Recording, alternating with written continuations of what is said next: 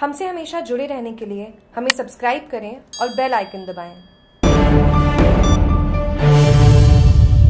Luxury car को अज्ञात वाहन ने पीछे से मारी टक्कर, दो की मौत, चार घायल। नेशनल हाईवे एक पर स्थित खोखरा ग्राम के निकट गुरुवार सुबह करीब पाँच बजे एक लग्जरी कार को अज्ञात वाहन ने टक्कर मार दी, जिसके कारण कार में सवार माँ बेटे की मौत हो गई वहीं चार अन्य लोग घायल हो गए, जिन्हें उपचार के लिए सोचत अस्पताल भर्ती करवाया गया।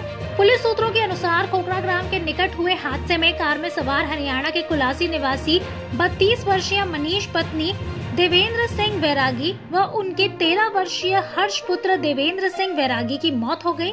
वहीं देवेंद्र सिंह पैतीस वर्ष, मुकेश अखिल आठ वर्ष, मीना देवी छत्तीस वर्ष, पत्नी आनंद सिंह, मंजू देवी उनचालीस वर्ष, पत्नी सुधीर घायल हो गए जिन्हें उपचार के लिए सोजत अस्पताल भर्ती करवाया गया, वहीं मृतकों के शव सोजत अस्पताल की मोर्चरी में रखवा कर उनके परिजनों को सूचना दी। वहीं हादसे के बाद पुलिस अज्ञात वाहन चालक की तलाश में जुटी हुई है। जानकारी के अनुसार देवेंद्र सिंह अपने परिवार व रिश्तेदारों के साथ सोजत के निकट सजाड़ा धाम जा रहे थे, लेकिन अज्ञात वाहन की टक्कर से उनकी पत्नी व मासूम बेटे की मौत हो गई वही गाड़ी का पिछला हिस्सा बुरी तरह क्षतिग्रस्त हो गया, जिसमें फंसने ऐसी दोनों माँ बेटे की दर्दनाक मौत हो गई तथा चार जने में घायल हो गए।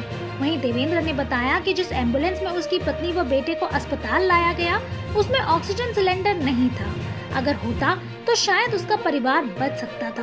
उन्होंने बताया कि उनकी गाड़ी को ट्रक ने पीछे से टक्कर मारी तथा वापस ट्रक घुमाकर ब्यावर की ओर भाग गया। जागरूक टीवी की सोजत से नथाराम बुराना की रिपोर्ट।